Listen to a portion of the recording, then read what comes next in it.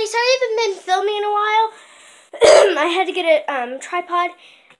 Yeah, I had to get a tripod, and uh, I'm still going to have to um, get a um, thing to where I'll have more memory for my um, phone on my camera. So hold on, guys. Okay, so today is New Year's Eve. I am so excited. And if this ends on you, I am so sorry. But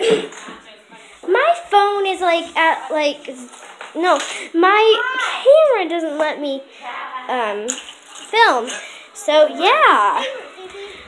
So yeah, um, I'm gonna have to get back to you guys when I get a card.